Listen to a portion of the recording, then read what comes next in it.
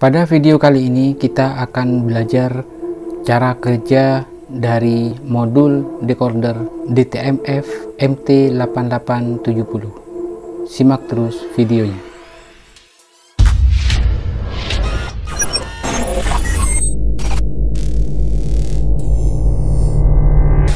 DTMF merupakan sistem yang digunakan pada pesawat telepon atau handphone. Prinsip dasar DTMF adalah menggabungkan dari grup frekuensi tinggi dengan grup frekuensi rendah yang menghasilkan frekuensi tertentu. Telepon PSTN pada umumnya memiliki 10 buah tombol, ditambah bintang dan pagar, jadi jumlahnya 12. Bahkan 16 buah tombol A, B, C, dan D.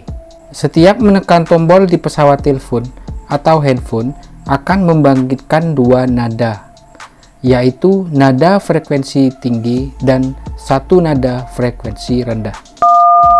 Suatu misal menekan angka 1 merupakan perpaduan frekuensi tinggi yaitu 1209 Hz dan frekuensi rendah 679 Hz. Begitu juga dengan angka lainnya, sehingga dapat terbentuk 16 macam pengkodean simbol menggunakan nada.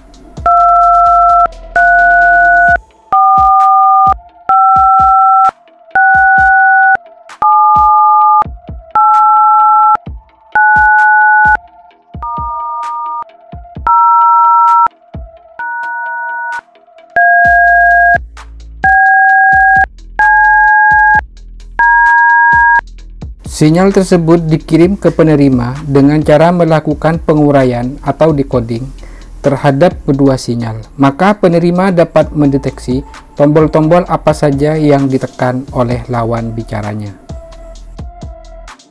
Modul memiliki beberapa pin input dan output. Pada soket audio merupakan pin input, misalkan input audio dari handphone. Pada sebelah kiri paling bawah dua pin pertama adalah pin power supply di mana pin paling bawah adalah ground dan kemudian pin berikutnya adalah 5 volt. Kemudian empat pin di atas secara berurutan adalah key 1, key 2, key 3, dan key 4 yang merupakan pin keluaran berupa biner. Terjemahan atau decoder dari nada yang diterima. Perhatikan diagram logika berikut. Satu misal menekan angka 1, maka pada key 1 adalah 1, key 2 adalah 0, key 3 adalah 0, key 4 adalah 0. 1 artinya high, 0 adalah low. Begitu juga jika menekan tombol lainnya. Hal ini dimanfaatkan dalam pengaplikasian dalam dunia elektronika untuk kepentingan-kepentingan terkait pemanfaatan tombol handphone sebagai pemicu menghidupkan LED, lampu, kipas angin, dan lain-lain, tergantung kreativitas kamu. Perhatikan contoh berikut ini.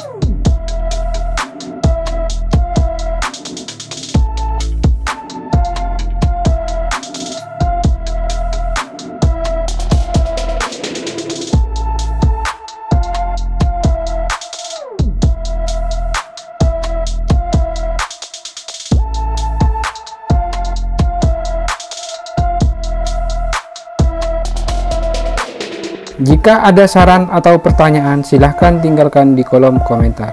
Semoga bermanfaat. Selamat mencoba. Wassalam.